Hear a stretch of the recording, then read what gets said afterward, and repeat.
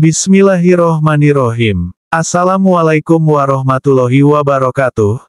Selamat datang kembali di channel kami yang selalu menyajikan kisah-kisah inspiratif dan penuh hikmah.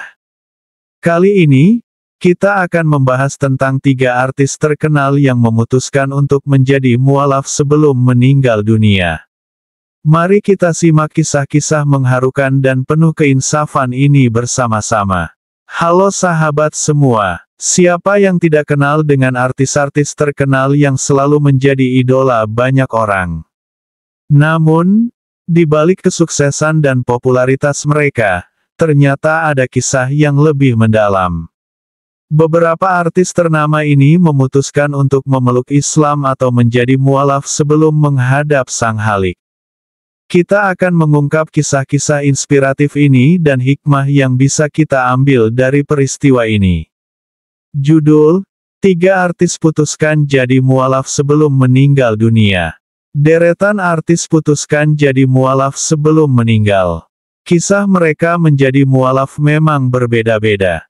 Bahkan ada yang cukup mengejutkan keluarga karena keputusan bersyahadat hanya diketahui sang suami. Berikut deretan artis putuskan jadi mualaf sebelum meninggal dunia seperti dikutip dari berbagai sumber. 1. Stevie Agnesia Selebgram Stevie Agnesia mengembuskan napas terakhirnya di Rumah Sakit Cipto Mangunkusumo, Jakarta Pusat, pada tanggal 29 Maret 2024, pukul 19.35 menit WIB. Mendiang meninggal sebagai mualaf setelah bersyahadat pada 2017. Setelah menjadi mualaf, Steffi menyandang nama Islam Fatia Halimah Insyirah yang juga terpatri di papan nisannya. Dalam bahasa Arab, Fatia bermakna kemenangan, sementara Halimah berarti lembut dan sabar. Sedangkan Insyirah bermakna kebahagiaan. 2. Sinet O'Connor Artis putuskan jadi mualaf sebelum meninggal dunia selanjutnya adalah Sinet O'Connor. Penyanyi asal Irlandia ini meninggal dunia di kediaman pribadinya di Herne Hill, London, Inggris, pada tanggal 26 Juli 2023. O'Connor memutuskan menjadi mualaf pada Oktober 2018. Dia mengucapkan syahadat di bawah bimbingan Syekh Umar Al-Qadri, pimpinan Islam Sunni di Irlandia. Lewat Twitter, kini X, mendiang juga mengumumkan telah mengganti namanya menjadi Suhada Sadakat. 3. Uli Arta Aktris Uli Arta meninggal dunia di Rumah Sakit Gatot Subroto, Jakarta, pada tanggal 16 Juni 2013.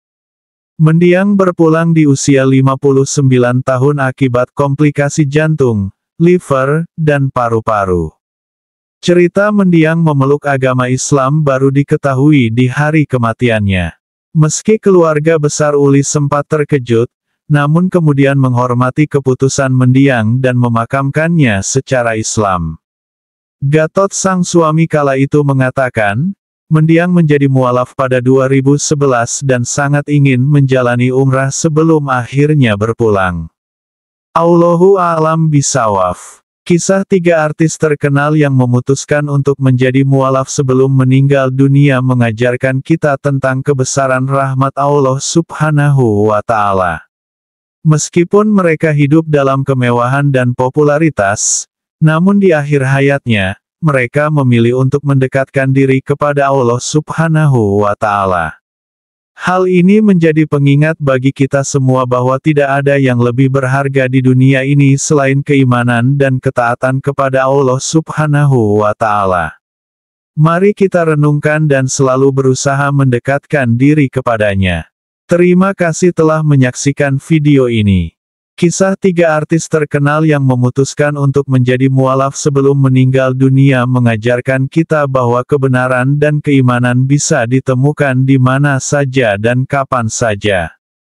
Jangan lupa like, share, dan subscribe untuk video-video selanjutnya.